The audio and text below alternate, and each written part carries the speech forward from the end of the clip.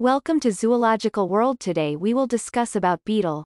According to biologists, there are at least 400,000 species or types of beetle, all belonging to the Coleoptera order, the Endopterygota suborder, and a great variety of lower classifications. These insects make up one quarter of all animal lifeforms, and most insects.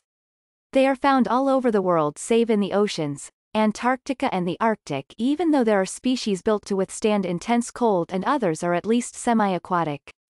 Some are terrible pests, and some are beneficial. Though many are black or brown, others sport beautiful colors and patterns, with metallic or iridescent carapaces. They range from the smallest, Scydosella musawasensis to the largest, the Hercules beetle, which can grow to over 7 inches long. Incredible beetle facts. There are about 300 types of beetles that are eaten by humans, usually in the larval stage. These insects evolved around 270 million years ago. Though bug is the generic name for all kinds of insects, beetles and bugs are different. Beetles have hard forewings, or elytra, and their mouthparts are made for chewing. The exception to this are the blister beetles, which also have sucking tubes. The mouthparts of bugs are made for sucking and piercing.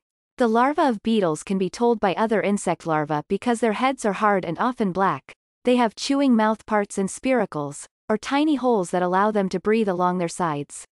Some are called grubs. Grubs eat organic material and the root of grasses and plants. How to identify beetles The adults always have wings, and their front wings are hard and are not used for flying. Instead, they are used to cover the hind wings, which are used for flying. When they close, they form a straight line down the back. The forewings extend all the way to the back of the abdomen. If they don't extend to the back of the abdomen, the insect is considered a true bug. Where to find beetles These insects can be found just about anywhere. Even a cursory glance at a tree or a shrub or plant will disclose some kind of beetle, which may be actively eating the plant or simply resting on it. They are found under rocks, under old bark, in rotting logs, and in dung heaps. They are found in and around food, on clothing, rugs, carpets, and upholstery. If a porch light is turned on, they will come flying to it. Aquatic beetles are mostly found in freshwater, though some of them do live in the shallow waters near the shore. The adults often carry an air bubble or have a modification to their exoskeleton to allow them to breathe underwater. What do beetles eat? The materials these insects eat nearly defy listing. Some only eat plant materials, others are scavengers, some are omnivores. Some restrict themselves to only one type of plant, while others are hunters that prey on other insects, spiders, snails, and earthworms. Others eat dung and carrion, while others eat beetles that eat dung and carrion. Many beetles rely on the presence of fungi in their gut to help them digest their food.